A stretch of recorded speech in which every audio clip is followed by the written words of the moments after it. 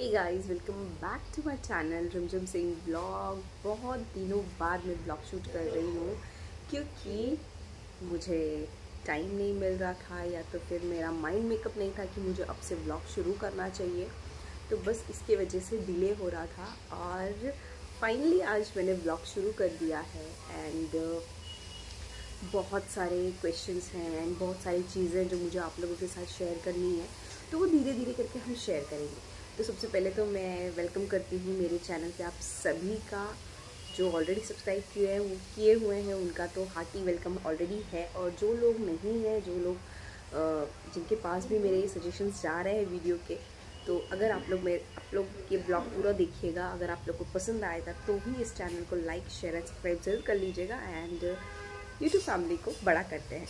सो so guys जैसे कि मैं आप लोग को बताना चाहती हूँ, मैं आ गई हूँ मेरे मायके and it's been one point five months मेरे बच्ची को होने आए हैं और तो मैंने सोचा आज का दिन भी अच्छा है एंड वो थोड़ी सी यू नो काफ़ी अच्छे जोन में है तो मैंने सोचा चलो ब्लॉग शुरू कर लिया जाए और अपलोड किया जाए। तो ब्लॉग इन्जॉय करिए एंड बाकी आप लोगों के साथ तो बहुत सारी बातें करनी है तो सबसे पहले ब्लॉग देखिए। तो यहाँ पे देख सकते हो, मेरे बच्चे की थोड़ी सी मस्ती टाइम चल रही है और हम सब एक साइड में बैठ के उसके जो बचपना है वो एन्जॉय कर रहे हैं एंड यस वो कैसी लग रही है ज़रूर आप लोग मुझे कमेंट में बताइएगा। तो यहाँ पे ये जो काला टीका मैंने लगाया, इसे सूट होती है या नहीं वो भी कमेंट में आप लोग मुझे बताइएगा। यहाँ पर डिनर बन रहा है, आज हमारे घर पे मेथी के पराठे एंड आलू गोभी सब्ज़ी, आलू गोभी वटाने की सब्ज़ी। जो कि मेरी मम्मी बना रही हैं।